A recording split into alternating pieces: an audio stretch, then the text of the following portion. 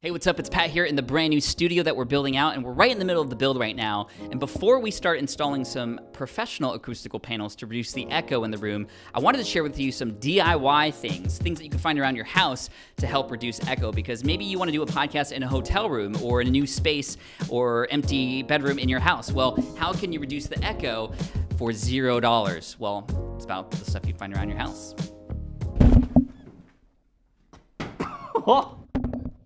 Stay tuned. Right, so to conduct this test, we are recording into an H6 Handy recorder by Zoom, and we're using an ATR 2100 microphone, which is a pretty common travel sort of portable setup that will remain consistent throughout the whole experiment here. And what we're gonna do is just try different configurations using pillows and blankets and things like that that you might find around your house to reduce the echo in the room so we can figure out what works best. So echo is sound bouncing around the room and coming back into the microphone after that source created the sound, which is why you hear that same thing again and again and again and again. Now, there's a couple key things I want to share with you, big tips so that you can reduce the echo in the rooms that you might be in. Number one, if you happen to be next to a lot of window like we are on this side of the room, you kind of want to move away from that. So if you have windows or a lot of glass, you definitely don't want to record on a glass table if possible. Just that alone is gonna help you reduce some echo. Next, you wanna be in a carpeted room as much as possible because the hardwood floor and all that surface area is gonna include another angle that sound can bounce off of. Now, the more fabric and stuff there is in the room, the better. Actually, the best place to record your podcast is actually in the closet with all the clothes and stuff. But if you don't wanna record in a closet because you are claustrophobic like me, uh, find a place with carpet or a lot of sofas and, and cushions and things like that, and that could, that could work out really well too. Now, let's go to the desk and run some experiments there to see what we could do with our desk, pillows, and blankets to have a configuration that reduces the echo for us. So we're at the desk, which is a huge surface area that sound can reflect off of and then around the room and back into the microphone. So I just wanna see if we cover this desk with something like a blanket, how might that reduce the echo? So I'm gonna put my headphones on and I'm gonna say, hey, this is Pat Flynn from the Smart Passive Income Podcast. Hey, this is Pat Flynn from the Smart Passive Income Podcast. Now, I don't know, you tell me, could you hear a difference? Well, let's try some other things. So another common solution that a lot of people say to do is just to have a lot of pillows and blankets around the recording area. So let's just gather all the things we have and sort of put them right next to us to see what happens. Over here.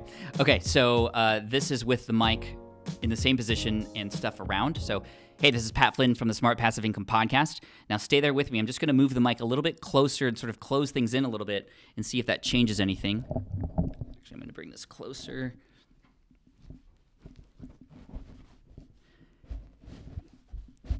Sorry, sorry, sorry, sorry.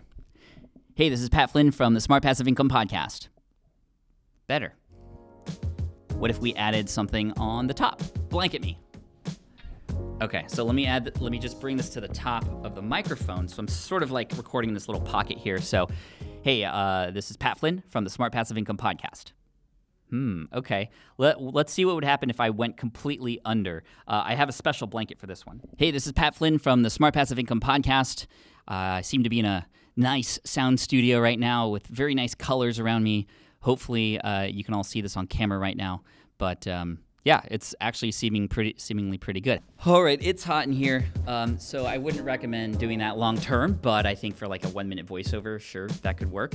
Um, I wanna see what happens when I just have the blanket only. I have all these pillows around me, but what if I just, just do the blanket over me only? Let's see what happens. All right, next we're gonna run a test with my bedroom blanket uh, fully off, and then I'm gonna put it on and say the exact same thing. So, hey, this is Pat Flynn from smartpassiveincome.com. Thanks for joining me today.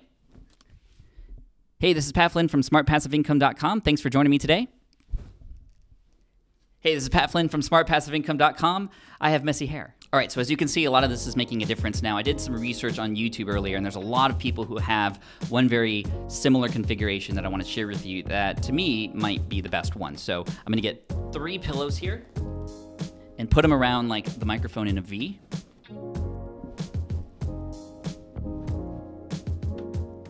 And I got this other third one on top. And then uh, that should do a pretty good job of reducing a lot of the echo because the sound is traveling past the mic but then bouncing right into the pillows there and it's hard for me to look at the camera and speak at the same time because the mic's here. But thankfully, with a podcast, you don't necessarily need to be on video. Now, obviously, if you're recording a video podcast, this would be really silly and probably something you don't want to do. But for audio purposes, this is a great configuration that only takes three pillows and something that uh, you know can help out for on the cheap. All right, so in conclusion, you don't need to spend loads of money in order to reduce the echo that you have in your room, or if you're at a hotel room, there are resources there with blankets and pillows that you could set up already so that you can reduce the echo and have some good sound quality on the go.